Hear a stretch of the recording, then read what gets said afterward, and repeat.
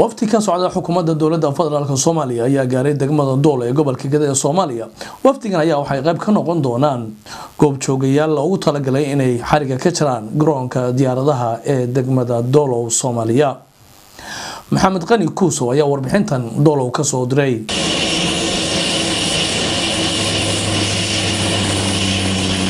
Diyaaraddan haysadii wafdi ka socda labada gole ee dowladda soomaaliya ayaa maanta soo cagaarigtay garoonka weyn ee degmada doolow soomaaliya waxaana wafdigan ku soo dhoweeyey garoonka degmada oo xilligaasi ahaa mid mashquula maamulka degmada doolow soomaaliya uu hogaaminayay gudoomiyaha degmada aadan bare cali. Wasiir ku-xigeenka amniga iyo arrimaha gudaha ee maamulka jubbaland cabdirashiid xasan cabdinuur mudanayaal ka tirsan baarlamaanka soomaaliya oo horey u joogay gobolkan gado soo dhoweyntaas iyo salaanta kadib ayaa loo dhaqaaqay dhismaha goobtu ka socda ee garoonka weyn ee degmada doolow soomaaliya.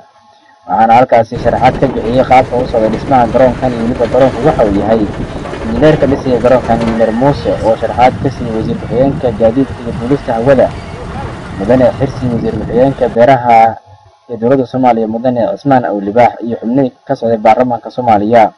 Waxaana sidoo kale halkaasi ka hadlay wasiir ku-xigeenka arrimaha gudaha iyo amniga ee maamulka jubbaland oo ka mahad celiyay wafdigan ka socda dowladda dhexe ee soomaaliya. Waxaana halkaasi khudbadihii laga jeediyay ay u dhaceen sidan. Garoonkani wuxuu ku yaalaa degmo kulmisa saddex dal saddex dal kulmisa. Halkaa maxaa ka soo baxaya? Waxaa ka soo baxaya garoonkani mustaqbalkiisu inuu yahay mid aan waayi doonin cid adeegsata oo ka faa'iidaysata. Waa qodob. Waa qodobada wasaaradda gaadiidku ay eegto in marka hore shuruudaha garoon lagu samaynayo. Qodobka labaad haddii la eego dhinaca dhaqaalaha iyo horumarka dalka. Deegaanka airboodka laga samaynaya ma yahay mid ku habboon oo ay tahay in investment in maalgelin la gashado.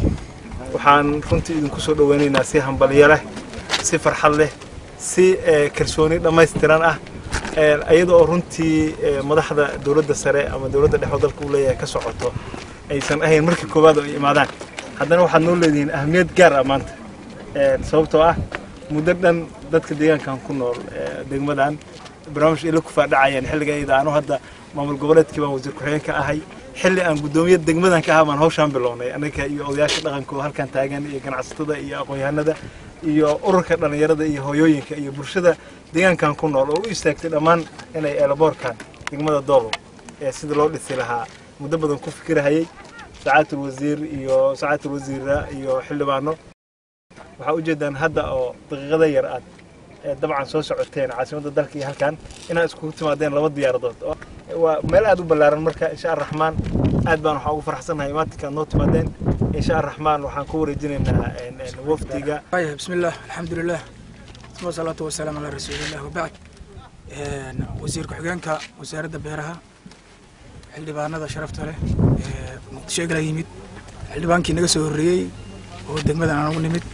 ولو وزير كحجانك أبنك بلان قدوميها الدقمدة إن قناع ستادة سياسيين تكالي قلن يرادة أقوان يهاندة وضياشة بلشادة حرايد كان نوعية ذكال الدوان لمانتين السلام عليكم ورحمة الله وبركاته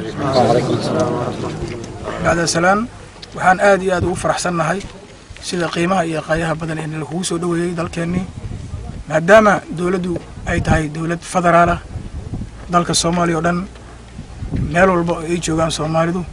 Dowladda ayaa xil ka saaran yahay inay goob walba ay tagto shaqadeedana geydo sidaa daraaddeed runtii maanta waa maalintii aniga igu horreysay ee aan imaado magaalada doolow gaar ahaan ayraboorka cusub oo meeshan laga hadda dayaxtirkiisu ka socdo.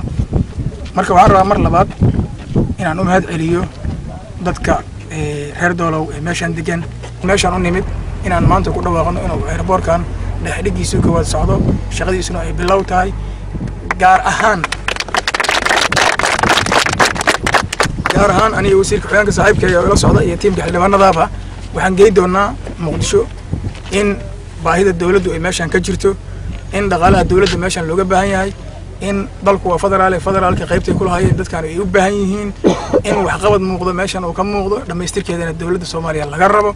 Waxaana ballan qaadaynaa إن وحي كران كنا إيه، دولة حاجة ذا كرام مكان أنا ذا كرام صار هذا دون ذا كنا كيني دون إن شاء الله تعالى.